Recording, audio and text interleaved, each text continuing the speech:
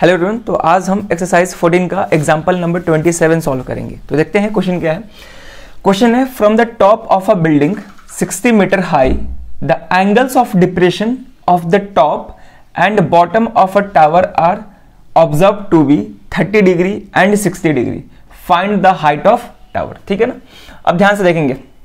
इस क्वेश्चन में दिया है कि एक बिल्डिंग है जिसका हाइट 60 मीटर है। तो पहले हम ग्राउंड को रिप्रेजेंट करेंगे। तो ग्राउंड को हमेशा हम हॉरिजेंटल लाइन से रिप्रेजेंट करते हैं, ठीक है? और एक बिल्डिंग है, ठीक है? जिसका हाइट दिया हुआ है 60 मीटर जिसको हम बाद में लिखेंगे। तो दिया है from the top of a building 60 metre high the angles of depression of the top and bottom of a tower are observe to be 30 degree and 60 degree अब ध्यान से देखेंगे। यहाँ पे एक टावर है, ठीक है ना? और टावर को हम यहाँ पे ऐसे वर्टिकल लाइन से ही रिप्रेजेंट कर रहे हैं, जो कि इसके अपोजिट साइड है। क्लियर है? बिल्डिंग के अपोजिट साइड है। अब क्वेश्चन ये है कि यहाँ पे हम टावर के हाइट को बिल्डिंग के हाइट से छोटा क्यों दिखा रहे हैं? तो ऐसा इसलिए क्योंकि क्वेश्चन में ऑलरेडी दिया है कि जब हम बिल्डिंग के टॉप से, ध्यान से देखेंगे, जब बिल्डिंग के टॉप से एक बार टावर के टॉप पे देख रहे हैं और एक बार टावर के बॉटम पे देख रहे हैं तो दोनों ही केस में एंगल ऑफ़ डिप्रेशन बन रहा है। और एंगल ऑफ़ डिप्रेशन तभी बनता है जब मेरा ऑब्जेक्ट का पॉइंट ठीक है ना? जब मेरा ऑब्जेक्ट का पॉइंट हॉरिजेंटल लाइन से नीचे हो तो अगर ध्यान से समझेंगे, अगर मेरा ऑब्जर्वर यहाँ पे है तो उसके लिए हॉरिजेंटल लाइन ये होगा। ठीक है, ये हॉरिजेंटल लाइन होगा। अब उस कहाँ देख रहा है? टावर के टॉप पे देख रहा है और टावर के बॉटम पे देख रहा है। और दोनों ही पॉइंट जब हॉरिजेंटल लाइन के नीचे होगा, तभी जाके हमको एंगल ऑफ़ डिप्रेशन मिलेगा। ठीक है ना? अगर कोई भी पॉइंट हॉरिजेंटल लाइन से ऊपर होता है तो उस केस में एंगल ऑफ़ एलिवेशन मिलता है। लेकिन क्वेश्चन में कहीं भी एंगल ऑफ़ एलिवेशन का ज़िक्र नहीं किया है, केवल एंगल ऑफ़ डिप्रेशन का ज़िक्र किया है। ठीक है ना? चलो। अब हम इसको सॉल्व करते हैं। एक बार क्वेश्चन को फिर से पढ़ेंगे हम लोग। क्या है question from the top of a building 60 metre high building का 60 मीटर हाई मतलब हाइट है। The angles of depression of the top यानी कि एक बार टॉप कर दे रहा है एंड बॉटम यानी कि bottom of a tower are observe to be 30 degree and 60 degree ठीक है?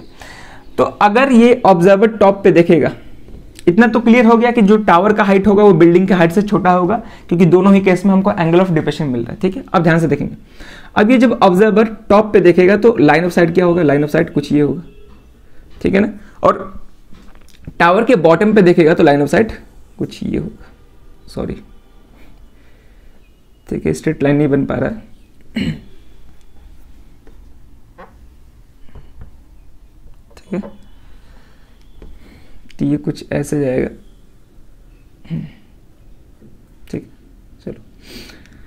अब ध्यान से देखेंगे। तो यहाँ पर हम पहले नेमिंग कर लेते हैं। तो बिल्डिंग को हम ए बी से रिप्रेजेंट कर रहे हैं। ठीक है ना? और इसको हम सी डी से रिप्रेजेंट कर रहे हैं। क्लियर है? अब यहाँ पर दो एंगल ऑफ़ डिप्रेशन दिया है। एक 30 डिग्री है, एक 60 डिग्री है। तो किस केस में 30 डिग्री होगा? तो ज़ाहिर सी बात है कि यहाँ पर एंगल कम बन रहा है तो ये 30 होगा और ये एंगल 60 होगा। वैसे भी क्वेश्चन में पहले किसका दिया है?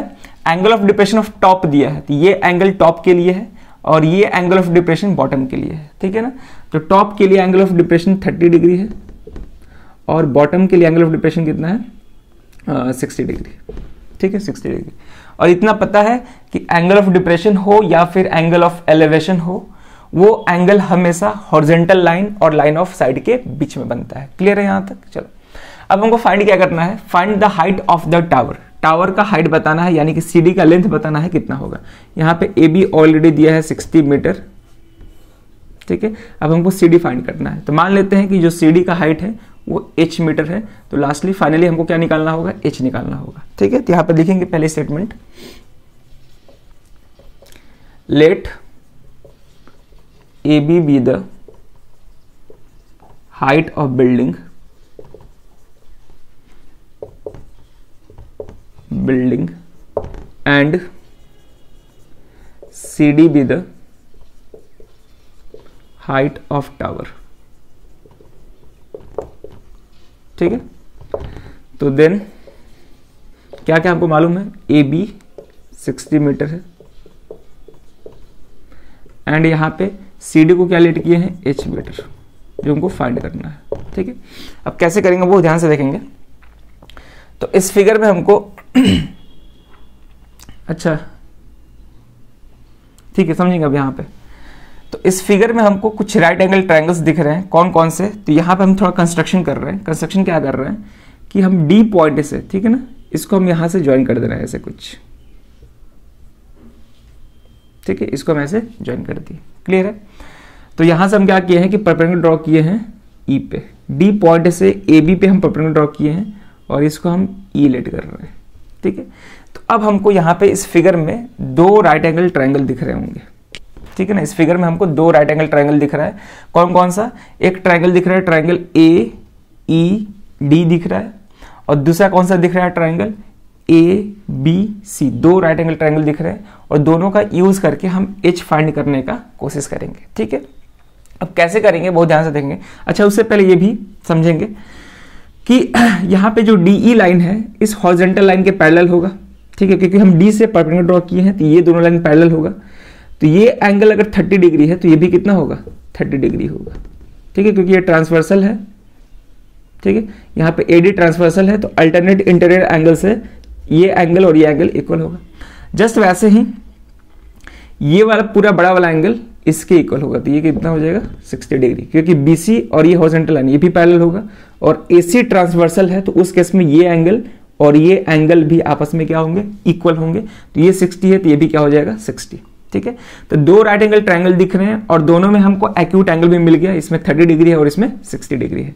तो पहले हम छोटा वाला ट्रायंगल या फिर बड़ा वाला ट्रायंगल लेते हैं, उसमें कोई दिक्कत नहीं है। ठीक है ना? हम पहले बड़ा वाला ट्रायंगल लेते हैं तो ट्रायंगल लेंगे ए बी सी लेंगे।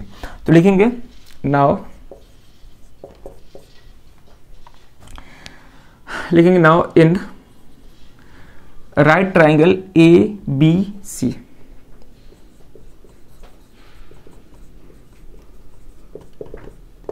ठीक है? ए बी सी में। आप समझेंगे ध्यान से। ये थीटा होगा, ये परपेंडिकुलर अब परपेंडिकुलर के साथ कौन सा साइड लेंगे? हाइपोटेनस लेंगे कि बेस लेंगे? ठीक है?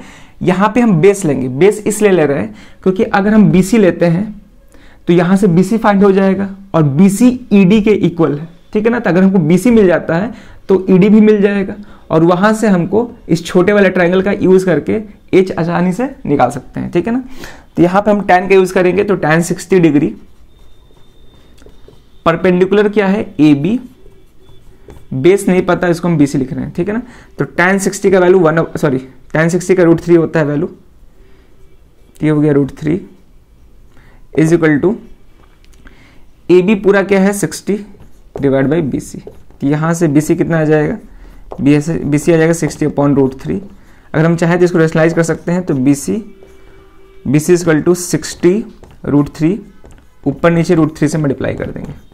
ठीक है? तो ये हो जाएगा sixty root three divide by root three into root three root three का स्क्वायर जो कि थ्री हो जाएगा। तो कैंसिल होकर क्या आ गया? ट्वेंटी रूट थ्री ठीक है ना? तो यहाँ से हम बोल सकते हैं कि बी सी कितना आ रहा है? ट्वेंटी रूट थ्री मीटर आ रहा है। ठीक? अब ये जो सी है ईडी e के इक्वल होगा। ये जो सी है ईडी e के इक्वल होगा। तो यहाँ से लिख सकते हैं कि since ED is equal to B C therefore ED का भी लेंथ कितना होगा? ट्वेंटी रूट थ्री मीटर होगा। ठीक है? अब हमको ईडी e मालूम चल गया। तो अब ये वाला ट्राइंगल ए ई डी का यूज़ करके हम एच निकालेंगे। अब क्वेश्चन ये है कि यहाँ पे तो एच कहीं दिख नहीं रहा एच तो ये है तो फिर हम एच कैसे निकाल पाएँगे? ठीक है ना? तो आप समझेंगे बात को। अगर सी डी पूरा एच है तो बीई e का लेंथ भी क्या होगा? एच होगा। समझेंगे बात को? अगर सी डी पूरा एच है तो सी डी के इक्वल बीई होगा तो ये एच है तो ये भी एच होगा। ठीक है? अब अगर ये एच है तो ए ई e, ठीक है ना? ये यहाँ से लेके ठीक है? ये ए e का लेंथ क्या होगा? तो पूरा 60 है। पूरा 60 है और 60 में से ये इतना पार्ट एच है तो इतना पार्ट क्या हो जाएगा? 60 माइनस एच हो जाएगा। ठीक है? समझेंगे यहाँ पे। ये पूरा जो है ए बी सिक्सटी मीटर है और ये पार्ट एच मीटर है तो ये क्या हो जाएगा? 60 माइनस एच यानी कि 60 में से एच घटा देंगे तो ये निकल जाएगा। ठीक है? अब हम छोटे वाले ट्रायंगल का यूज़ करके एच आसानी से निकाल सकते हैं। तो इतना वीडियो को पॉज करके पहले नोट कर लें, हम ऊपर क्लिक करेंगे, ठीक है? अब हम छोटा वाला ट्रायंगल लेंगे ट्रायंगल ए ई डी तो लिखेंगे in right triangle A E D ठीक है? अब इसमें देखेंगे, इसमें थीटा क्या है? थर्टी डिग्री है। ये परपेंडिकुलर जो कि हमको निकालना है एच इसमें निकालना है, और ये ई डी बेस होगा, और ई डी हमको मालूम है ट्वेंटी रूट थ्री तो यानी कि यहाँ भी टेन का यूज़ करना होगा तो यहाँ पर लिखेंगे tan thirty degree is equal to perpendicular A है और बेस यहाँ पे ई डी है, ठीक है? तो सॉल्व करेंगे टेन थर्टी का value one upon root three A क्या है? सिक्सटी माइनस एच और E D twenty root three ठीक है? तो क्रॉस मल्टीप्लाई करेंगे तो ये हो जाएगा twenty root three is equal to root three into sixty minus H ठीक है ना? क्रॉस मल्टीप्लाई किए ट्वेंटी रूट थ्री हो गया। अब देखेंगे ध्यान से। अगर इस रूट थ्री को इधर भेजेंगे तो डिवीज़न में आएगा तो रूट थ्री से रूट थ्री कैंसिल केवल क्या बच गया? Twenty is equal to sixty minus H ठीक है? अब हमको एच निकालना है तो माइनस एच को इधर भेजते हैं। तो माइनस एच इधर आएगा तो प्लस एच और ये ट्वेंटी इधर जाएगा तो माइनस ट्वेंटी क्या आ गया? H is equal to forty metre ठीक है ना? तो यहाँ पे सी डी यानी कि टावर का जो हाइट हो जाएगा वो फोर्टी मीटर हो जाएगा, क्योंकि टावर के हाइट को ही एच माने थे। यहाँ पे एच फोर्टी आया है तो लिख सकते हैं therefore height of the height of the tower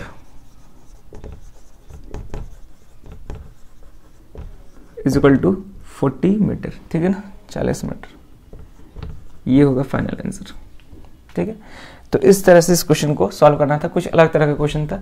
इसमें केवल एंगल ऑफ़ डिप्रेशन ही दिया हुआ था, ठीक है ना? और फिगर जो है क्वेश्चन को पढ़ के मतलब थोड़ा सावधानी से बनाएँगे, क्योंकि इसमें गलती होने का भी चांसेस हो सकते हैं, ठीक है? चलिए फिर, ये क्वेश्चन सीबीएसई 2012 में भी पूछ चुका है तो उस तरह से इंपॉर्टेंट क्वेश्चन है। इस वीडियो में ही क्वेश्चन रहेगा अब मिलते हैं नेक्स्ट वीडियो में नए क्वेश्चन के साथ। Thank you